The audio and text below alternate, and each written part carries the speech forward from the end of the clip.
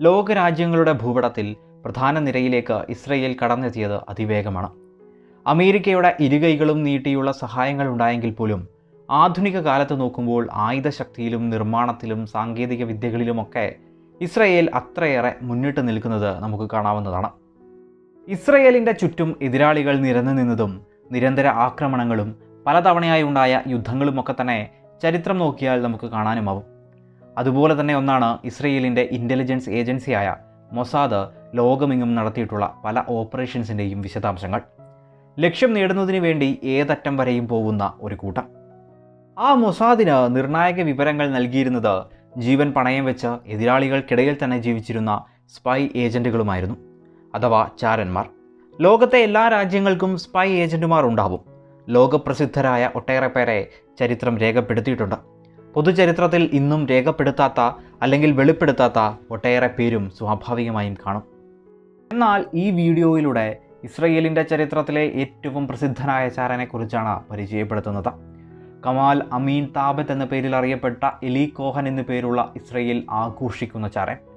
ഇസ്രയേലിൽ നിന്നും സിറിയൻ ഗവൺമെന്റിനുള്ളിലേക്ക് വരെ കടന്നു ചെന്ന് ഉയർന്ന പദവികളിലെത്തിയ എലി കോഹന്റെ കഥയാണ് ഈ വീഡിയോയിലൂടെ പരിചയപ്പെടുത്തുന്നത്.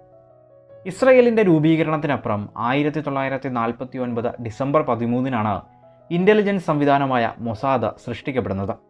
അന്നു മുതൽ മൊസാദ് ഏജന്റുമാർ എതിരാളികൾക്കിടയിലും മറ്റുമൊക്കെ കടന്നു ചെന്നുകൊണ്ട് സ്വാഭാവികമായും ഓപ്പറേഷൻസ് പൂർത്തിയാക്കുകയുമുണ്ടായി. ലോകമറിയുന്നതും അറിയാത്തതുമായ നൂറുകണക്കിന് ഓപ്പറേഷൻസ് അതിൽ ഉൾപ്പെടാം. ഇത്തരത്തിലുള്ള എല്ലാ ഇന്റലിജൻസ് ഏജൻസികളിലും നിർണായകമായ പങ്ക് വഹിച്ച ചിലരുണ്ടാവും. ആരും അറിയാതെ പോകുന്ന ചിലർ. അത്തരത്തിൽ മൊസാദിന്റെ ഹീറോ ആയിരുന്നു എലി കോഹൻ എന്ന് പറയാം. മരണം കൊണ്ട് ലോകപ്രശസ്തനായ ഇസ്രയേലിന്റെ ചിഹ്നമായി മാറിയ എലി കോഹൻ. എലി കോഹന്റെ കഥ നമുക്കിവിടെ മനസ്സിലാക്കാം. എലി കോഹൻ ജനിച്ചത് ഇസ്രയേലിന്റെ രൂപീകരണത്തിനുമൊക്കെ എത്രയോ വർഷങ്ങൾ മുൻപ് ആയിരത്തി തൊള്ളായിരത്തി ഇരുപത്തിനാലിലാണ് സിറിയൻ ജൂയിഷ് രക്ഷിതാക്കളുടെ മകനായി ഈജിപ്തിലായിരുന്നു അദ്ദേഹത്തിന്റെ ജനനമുണ്ടാവുന്നത് ആയിരത്തി തൊള്ളായിരത്തി നാൽപ്പത്തി എട്ടിൽ ഇസ്രയേൽ നിർമ്മിക്കപ്പെട്ടപ്പോൾ എലി കോഹന്റെ കുടുംബം ഇസ്രയേലിലേക്ക് സ്വാഭാവികമായും കടന്നെത്തി. ആ സമയം വിദ്യാർത്ഥിയായിരുന്ന എലി കോഹാൻ എന്നാൽ ഇസ്രയേലിലേക്ക് വരികയുണ്ടായില്ല. അദ്ദേഹം അവിടെ പഠനം തുടരുകയും എഞ്ചിനീയറിംഗ് ഡിഗ്രിയൊക്കെ നേടി അവിടെ തുടരുകയുണ്ടായി. ജൂതരുടെ അവകാശങ്ങൾക്കുള്ള പോരാട്ടങ്ങളിലും അദ്ദേഹം നിലകൊണ്ടു. എന്നാൽ അറബ് ഇസ്രയേൽ പോര് നടക്കുന്ന കാലഘട്ടം കൂടിയാണല്ലോ ഇത്. ഇരുവിഭാഗങ്ങളും തമ്മിലുള്ള അന്തരം കൂടി വരികയും ആക്രമണങ്ങളുമൊക്കെ കൂടി വരുന്ന സമയം. അങ്ങനെ ആയിരത്തി തൊള്ളായിരത്തി അൻപത്തി ആറോടെ എലി ഈജിപ്ത് വിടുകയും ഇസ്രയേലിലേക്ക് തിരിച്ചെത്തി കുടുംബത്തോടൊപ്പം ചേരുകയുമുണ്ടായി. അവിടെ താമസിച്ച എലിഗോഹൻ ഇറാഖിൽ നിന്നും വന്ന നാദിയ എന്ന ജൂത സ്ത്രീയെ കല്യാണം കഴിക്കുകയും ചെയ്തു. അവർക്ക് മൂന്ന് മക്കളുമാണ് ഉണ്ടായിരുന്നത്. അങ്ങനെ ജീവിക്കുന്നതിനിടയിൽ തന്നെ അദ്ദേഹം ജോലി തേടുകയുമുണ്ടായി. ആയിരത്തി തൊള്ളായിരത്തി അൻപത്തി ഏഴിൽ ഇസ്രയേലി ഡിഫൻസ് ഫോഴ്സ് അദ്ദേഹത്തിന് സെലക്ട് ചെയ്യുകയും കൗണ്ടർ ഇന്റലിജൻസ് അനലിസ്റ്റായി ജോലി നൽകുകയുമുണ്ടായി. എന്നാൽ അതൊരു ഓഫീസ് ജോബ് മാത്രമായിരുന്നു. പതിയെ പതിയെ എലീകോഹന് ആ ജോലിയെ മടുത്തു തുടങ്ങി.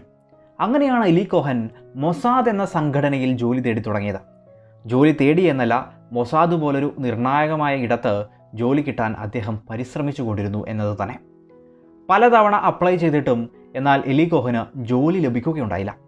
എങ്കിലും മൊസാദ് എലീകോഹനെ നിരീക്ഷിച്ചു കൊണ്ടിരുന്നു. കാരണം എലീകോഹന് പല ഭാഷകളിലും അഗാധമായ പാണ്ഡിത്യമുണ്ടായിരുന്നു. ഇംഗ്ലീഷ് ഫ്രഞ്ച് അറബിക് തുടങ്ങി പലതിലും അദ്ദേഹത്തിന് വലിയ തോതിൽ എഫിഷ്യൻസി ഉണ്ടായിരുന്നു. ഒപ്പം തന്നെ മികച്ച ഓർമ്മശക്തിയും എലിഗോഹന്റെ ഗുണങ്ങളായി മാറി.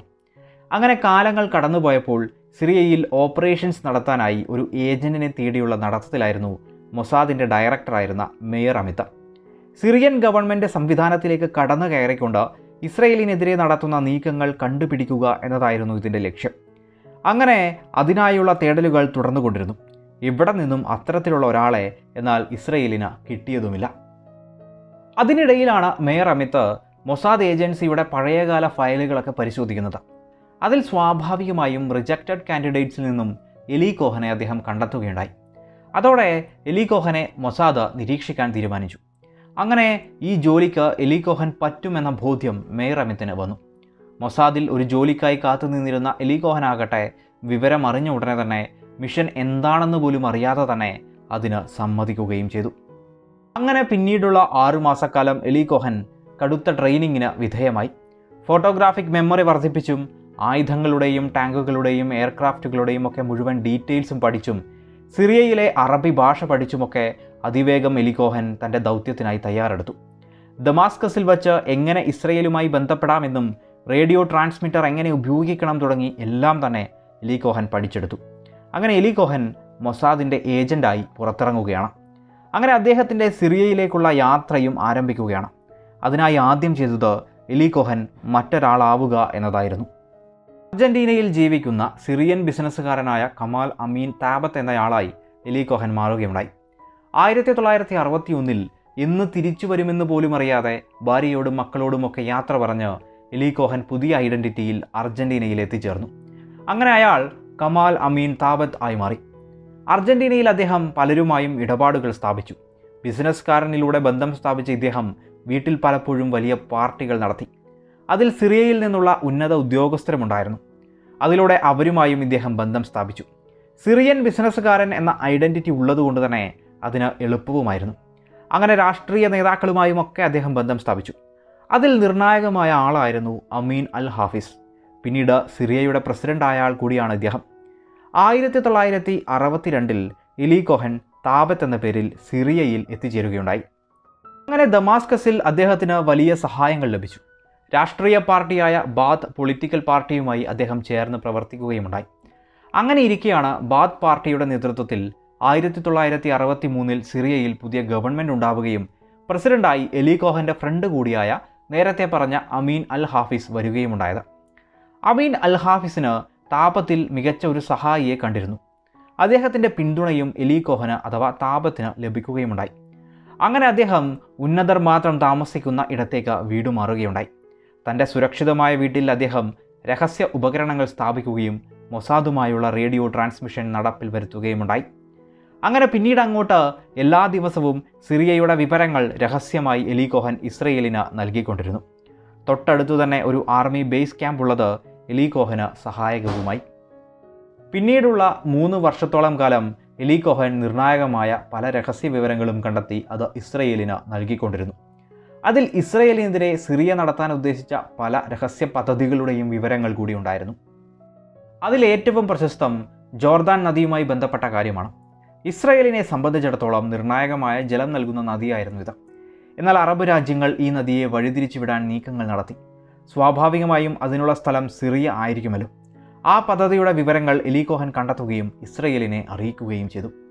പദ്ധതി നടപ്പിലാക്കുന്ന സ്ഥലം കൃത്യമായി തന്നെ എലികോഹൻ പറഞ്ഞതിലൂടെ ഇസ്രയേലിന് കാര്യങ്ങൾ എളുപ്പമാവുകയും ആ പ്രദേശം ബോംബിട്ട് തകർക്കുകയുമുണ്ടായി. മറ്റൊന്നായിരുന്നു ഗോലാൻ കുന്നുകളിൽ സിറിയ സ്ഥാപിച്ചിരുന്ന ബങ്കറുകൾ ബങ്കറുകളുടെ കൃത്യമായ ലൊക്കേഷൻ വിവരങ്ങളും ഇസ്രയേലിന് എലികോഹൻ ചോർത്തിക്കൊടുത്തു.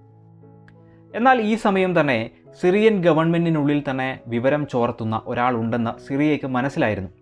അതിനായി സിറിയ വ്യാപകമായ തെരച്ചിലും നടത്തി തുടങ്ങി. ഗോലാൻ കുന്നുകളിലൊക്കെ സിറിയ നടത്തുന്ന എല്ലാവിധ പ്രതിരോധ പ്രവർത്തനങ്ങളെയും കണ്ട കോഹൻ അത് കൃത്യമായി ഇസ്രയേലിന് നൽകിയതുകൊണ്ടാണ് ആയിരത്തി തൊള്ളായിരത്തി അറുപത്തിയേഴിലെ യുദ്ധത്തിൽ ഇസ്രയേലിന് ഗോലാൻ കുന്നുകൾ പിടിച്ചെടുക്കാനായത്. ഏതായാലും ആയിരത്തി തൊള്ളായിരത്തി അറുപത്തിരണ്ട് മുതൽ ആയിരത്തി തൊള്ളായിരത്തി അറുപത്തിനാല് വരെയും കോഹൻ വലിയ രീതിയിൽ തന്നെ പ്രവർത്തനങ്ങൾ നടത്തുകയുണ്ടായി. ഇതിനിടയിൽ ആയിരത്തി തൊള്ളായിരത്തി അറുപത്തിനാലിൽ രഹസ്യമായി ഇസ്രയേൽ സന്ദർശിച്ച എലി കൊഹൻ ഇനി അപകടമാണെന്നും ഈ മിഷൻ ഇവിടെ വച്ച് അവസാനിപ്പിക്കണമെന്നും സിറിയ വലിയ തോതിൽ തന്നെ അന്വേഷണം നടത്തുന്നുവെന്നും അറിയിച്ചു. എന്നാൽ മൊസാദ് ഒരു തവണ കൂടി പോയി വരാൻ ആവശ്യപ്പെടുകയും എലി കൊഹൻ വീണ്ടും ദമാസ്കസിൽ എത്തുകയുമുണ്ടായി. സിറിയൻ സൈന്യം വലിയ തോതിൽ തന്നെ തിരച്ചിൽ നടത്തുകയായിരുന്നു ഈ സമയം. ആയിരത്തി തൊള്ളായിരത്തി അറുപത്തി അഞ്ച് ജനുവരിയിൽ സിറിയൻ ആർമി കംപ്ലീറ്റ് റേഡിയോ സൈലൻസിലേക്ക് ചില പ്രത്യേക സമയങ്ങളിൽ പോവുകയുണ്ടായി. ഏതെങ്കിലും ഒറ്റപ്പെട്ട സിഗ്നൽ ട്രാൻസ്മിഷൻ ഉണ്ടെങ്കിൽ അത് കണ്ടെത്തുകയും ഉള്ളിലെ ചാരനെ പിടിക്കുക എന്നതുമായിരുന്നു ലക്ഷ്യങ്ങൾ. ഏതായാലും അത് തന്നെ സംഭവിച്ചു. ഇതിനായി സോവിയറ്റ് യൂണിയനിൽ നിന്നും പുതിയതരം മെഷീനുകൾ അടക്കം എത്തിച്ചായിരുന്നു സിറിയൻ ശ്രമമുണ്ടായത്. അതിൽ കോഹൻ വീഴുകയും ചെയ്തു. ഒരു ട്രാൻസ്മിഷൻ സിറിയൻ സൈന്യം കണ്ടെത്തുകയും സ്ഥലം ലൊക്കേറ്റ് ചെയ്ത് ഉടനെ തന്നെ എലി കോഹന്റെ വീട് റെയ്ഡ് ചെയ്യുകയുമുണ്ടായി. സ്വാഭാവികമായും സിഗ്നലുകൾ നൽകിക്കൊണ്ടിരുന്ന അതേ സമയം തന്നെ കോഹനെ സിറിയൻ സേന പിടിക്കുകയുമുണ്ടായി. അങ്ങനെ കാമൽ അമീൻ താബത്ത് അറസ്റ്റിലാവുകയാണ്. എലികോഹന് പിന്നീട് വിചാരണ നേരിട്ടു. ഈ സമയങ്ങളിൽ കടുത്ത ക്രൂരതകളും എലി നേരിടേണ്ടതായി വന്നു. ഇസ്രയേൽ പലവിധത്തിൽ ശ്രമങ്ങൾ നടത്തിയെങ്കിലും എലി സ്വന്തമായി വാദിക്കാൻ പോലും അവസരമില്ലാതെ കുറ്റക്കാരനായി കണ്ടെത്തുകയും വധശിക്ഷയ്ക്ക് വിധിക്കുകയും ചെയ്തു. ജയിലറയ്ക്കുള്ളിലിരുന്ന് എലി കോഹൻ അവസാനമായി കത്തെഴുതിയത് അദ്ദേഹത്തിന്റെ ഭാര്യയ്ക്കായിരുന്നു. കഴിഞ്ഞ കാലത്തെക്കുറിച്ച് ഓർക്കരുതെന്നും ഭാവിയെ കാണൂ എന്നും അവസാന ഉമ്മകൾ ഞാൻ ഇതിൽ അയക്കുന്നു എന്നും എനിക്ക് വേണ്ടി പ്രാർത്ഥിക്കൂ എന്നുമായിരുന്നു അദ്ദേഹത്തിന്റെ അവസാന വാക്കുകൾ. അങ്ങനെ ആയിരത്തി തൊള്ളായിരത്തി അറുപത്തിയഞ്ച് മെയ് പതിനെട്ടിന് എലി കോഹൻ പബ്ലിക്കിൽ തൂക്കിക്കൊല്ലുകയുണ്ടായി. ആ മരണത്തോടെ എന്നാൽ എലി കോഹൻ എന്ന പേര് ലോക വാർത്തകളിൽ നിറഞ്ഞു നിന്നു. അതുവരെയും രഹസ്യമായി നിന്നൊരാൾ ഒറ്റയ്ക്ക് ഒരു രാജ്യത്തിനെതിരെ നടത്തിയ നീക്കങ്ങളെക്കുറിച്ച് ഇസ്രയേലിലെ ജനത മനസ്സിലാക്കി തുടങ്ങി. പല പദ്ധതികളും തകർത്തുകളഞ്ഞ ബുദ്ധികേന്ദ്രം എന്നതുകൊണ്ട് തന്നെ ജനങ്ങൾ അദ്ദേഹത്തിന് വേണ്ടി മുദ്രാവാക്യം വിളിച്ചു. സിറിയൻ ഗവൺമെന്റ് അദ്ദേഹത്തിന്റെ ശരീരം പോലും തിരിച്ചു നൽകാതെ രഹസ്യമായി മറവ് ചെയ്യുകയാണ് ഉണ്ടായത്. ഇസ്രയേലിന്റെ പല ഉദ്യോഗസ്ഥരും അദ്ദേഹത്തിന്റെ ഭൗതികാവശിഷ്ടങ്ങൾ തിരിച്ചു കൊണ്ടുവരാൻ നോക്കിയെങ്കിലും പരാജയപ്പെടുകയാണ് ഉണ്ടായത്. ഏതായാലും ഇസ്രയേലിലെ എല്ലാ മേഖലകളിലും സ്കൂളുകളിലും റോഡുകളിലും സ്മാരകങ്ങളിലും എല്ലാം തന്നെ എലീകോഹൻ എന്ന പേര് നിറഞ്ഞു നിന്നു. ഇസ്രയേലിന്റെ ഹീറോ ആയി എലീകോഹൻ മാറുകയുമുണ്ടായി. ദ മാൻ ഇൻ ദമാസ്കസ് എന്ന വെളിപ്പേരും അദ്ദേഹത്തിന് ലഭിക്കുകയുണ്ടായി. ഏതായാലും ഇസ്രയേലിന്റെ ഏറ്റവും കഴിവുറ്റചാരനായി ഇസ്രയേലിന്റെ ഹീറോ ആയി എലി കോഹൻ മാറുകയുണ്ടായി. ആ വിവരങ്ങൾ ലോകമറിയുന്നതിന് അദ്ദേഹത്തിന്റെ മരണം തന്നെ ആവശ്യമായി വന്നു എന്ന് മാത്രം.